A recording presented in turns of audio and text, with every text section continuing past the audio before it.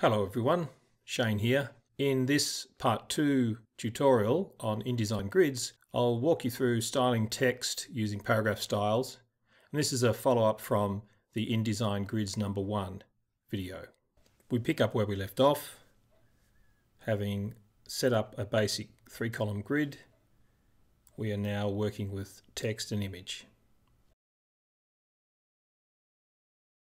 Let's start working with this. So click on pages, go down here to say page 4 and 5 and we'll just start doing a quick mock-up. So I'm on page 4 and 5, hit T for type, I'm going to create a text box or text frame. I'll click and drag it down here in the first column and I'll go up to type and I'll fill with placeholder text. Now I'm going to hit uh, my move tool and I'm going to click on the text frame but hold down Option and Shift, and that's actually copying the text frame. So I'll copy that text frame over to here, and I'll do another one next to that. And then what I'd like to do is thread them. So if I click in the first text frame, you'll notice down the bottom there's a little square, excuse me, in the bottom right hand corner. That is, I'm not sure the name of it, I think it's called the out port. If you click inside the out port, you'll get this little icon which is a loaded gun, a loaded text gun. And if you bring that loaded text gun across to the next text frame, you'll see it changes to a chain icon. And as soon as you you got that chain icon, you click. That's basically threaded those two text frames together. Now to see that, you can go up to View and come down to Extras, Show Text Threads. And this blue line tells us that this thread, uh, this text frame is thread it to this one. And let's do it again. Click again inside here, click in the port, go up to the next one, and you click anywhere inside that and you can see there's another text frame, right? So no matter where I move that, or any of these, they're threaded together. I can even put them in reverse order and they're still going to be threaded. Just undo that. So now we've got some nice text frames threaded together. Let's style them. So hitting or double clicking inside one places my cursor inside, then hit Command A for select all. I've selected all the text in that threaded text frame. Now we'll come up here, in fact I'll use the uh, character panel, so I'll just break that off and bring it over.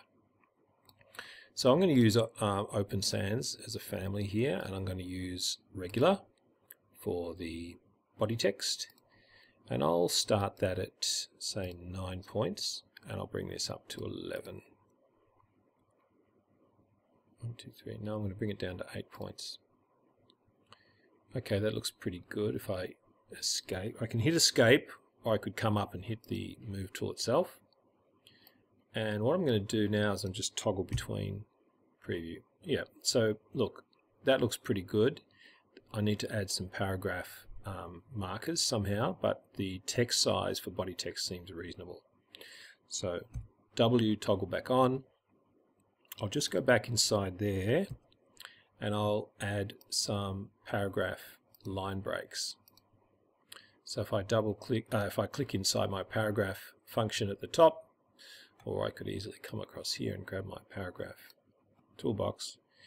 Uh, and now I go down here to space after, and I click a couple of millimeters, or I perhaps could do it as say 5.5 pt for point which is effectively half a line space according to what I've set as my leading. Then uh, that's looking pretty good. I might just just for the sake of interest add a another you know paragraph there. Oops. Just so it looks a bit more I don't know, consistent. And I might just grab this one, copy it, and just come up here just to extend my text a bit so it's a bit more substantial. Okay, looking pretty good. So now what I want to do is I'm going to set that, now that I've styled it and I'm pretty happy, I'm going to select it all. I'm going to come over to paragraph styles and once opened I can then hold down option and click on the new paragraph style and it immediately opens this new paragraph style dialog box. Now I'm going to type in body text and what that's doing is if so long as this is clicked on apply to selection is it's selecting or applying the selection that I've set to a new body text, uh, sorry, paragraph style called body text.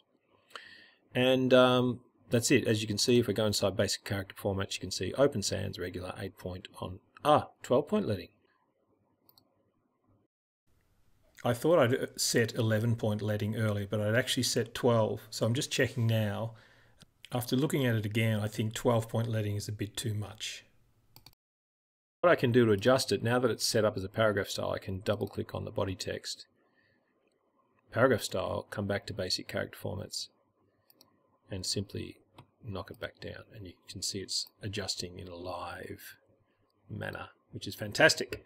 Okay, so that's that. Now we're going to have a look at um, perhaps setting, oh, let's put a picture in now. Come across here to the toolbar, grab your rectangular picture frame, tool, tool, and click and drag. I'm going to do it like I did in the other one, but I'll make it a square. So I'm holding down Shift, and that's giving me a square frame. And it doesn't appear to be locking to guides. I know it is. Come up to Place, File, Place, Please only use the place command when inserting images into an InDesign file. Because you need to establish a link to a master file, not to paste the master file in. If you, if we paste, cut and paste the InDesign file, if there's a lot of photographs, will get very, very large and very unwieldy and it will be slow to use. So InDesign works on linking images, not pasting images. And that's what this little icon here means, this chain. I go up to links, open up links over here, pop it over there.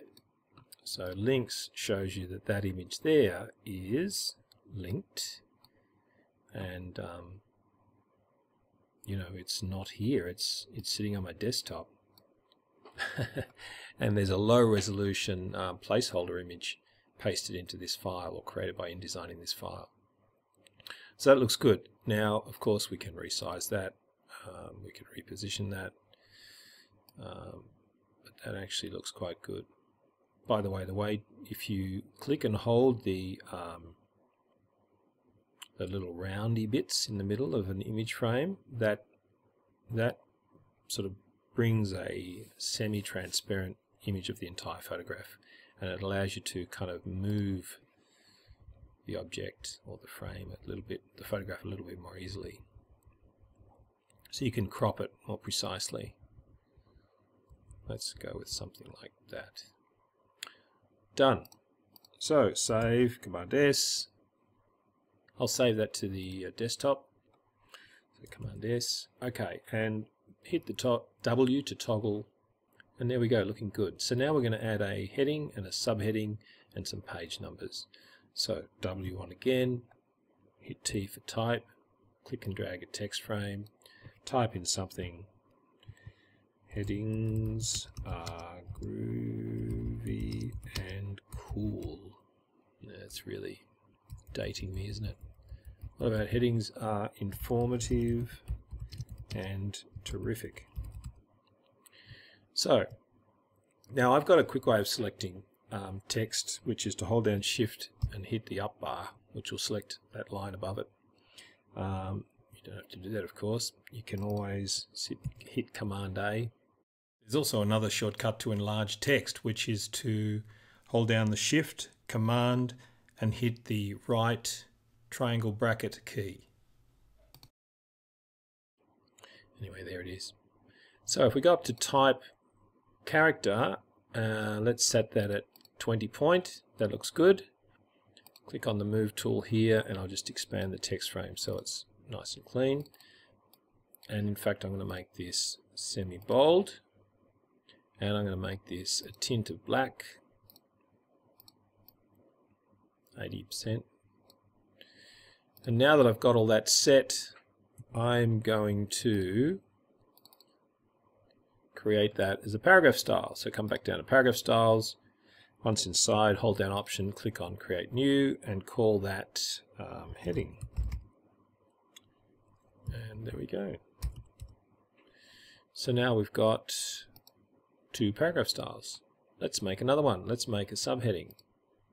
Type tool, place the cursor in here.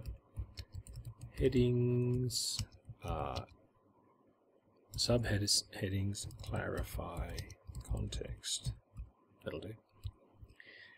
And now that I've typed it, I'm just going to select it and I'm going to style it, make it extra bold, and that's it. And I'm going to come back out to paragraph styles, hold down option, click on new paragraph style, call this sub heading, and then that's done. Apply to selection is turned on, so we're good. And this is going well. So I'm going to copy that. I'm going to paste another one over here. And another one over here. Or perhaps up here. I'll just insert a new fake um, section. Now that's not looking as good as it could. Let's add another line space there. And we'll just let that do what it's doing. Looking good.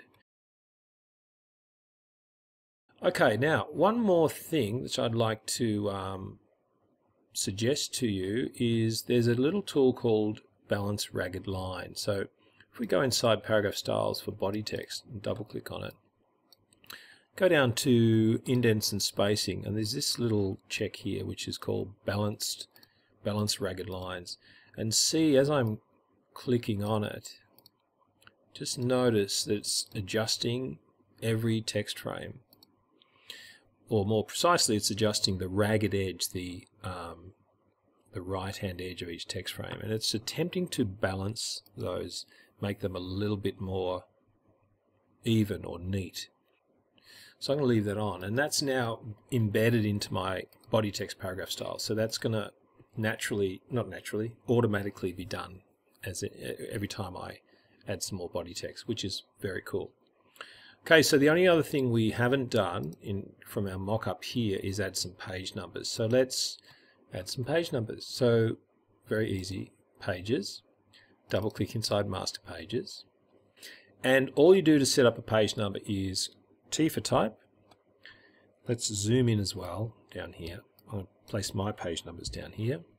I'm going to click and drag a little type frame, lock it into the guides here, and then all you need to do is go up to type, insert special character, markers, current page number, and that's going to insert a special character called a page number.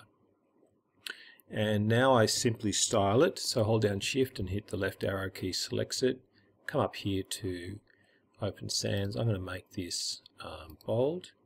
I'm going to make it a color. And I'll leave it at 8 point, I think. Now, if, notice here how the text frame is larger than it needs to be.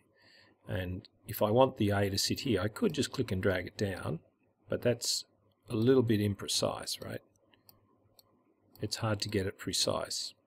So what you can do in InDesign, if you double click in the right hand corner, bottom right hand corner of a text frame, it'll bring the baseline up to the lowest baseline in that text frame. And that allows you when you, you know, if you've got smart guides turned on, to view grids and guides, uh, smart guides turned on, it's going to really help you align things really precisely. And now that we've got that one there, let's copy it, Command C, I'm going to go across to the other side. I'm just going to paste it. Command V. And I'm going to move it into the corner. Now notice it's the text frame is in the corner but not the letter. So all you do then, go to paragraph and hit right align and it pops across to the right. Pretty neat. So that's that. And now you'll see, let's add, before we do that, let's just add running footer. So T again for type, click and drag a text frame out. Let's call it Shane's. No, no, that's too. Let's just keep this impersonal. Um, basic column grid number one. Hit escape. That allows you to sort of get the cursor out of the text frame. Very important if you want to mess around with other shortcuts. I've expanded the text frame to fit it. I'm going to select it all and style it. I'm going to style this in, um, let's make this 6 point uh, semi-bold. There we go. But I'll, I'll, I'll put this in a tint as well. I'll put this in, say, 50%. Just so it's nice and soft. There we go. Now again, select the frame, double click in the right. Compresses the text frame to its required size and I can click and drag that down. It snaps into place. And if I want to make, let's say, you know, a date or something here. So let's call this um, January 2018, something like that. Select all and right align it so it's tucked nicely into the corner. Hit save, Command S, and now I'll just come out back to my page number, sorry, my um, page document itself. And you can see down the bottom here, if I hit W to preview, we've got my little soft grey um, folio. Looking nice. And over here, we've got my little page numbers in magenta. Got my lovely, you know, smooth-edged body text um, situation. And everything else is looking pretty good. Perhaps this space is a little bit tight now that I look at it, so I might just come in here and adjust that. So I'm just going to actually shunt this back a little bit because I'm finding that space a little bit uncomfortable. So what I've just done, lo and behold, is I've broken from my grid. Hmm. if I turn on my grid now, you'll see that that vertical line, which is typically used to put images and, and text frames against it. But in this instance, it felt a little bit tight. So that is a good demonstration, I think, of the point of grids. Is you use them you start, you set them up, and then if you need to, you break them. You don't just blindly follow them. You're the designer. It's your choice.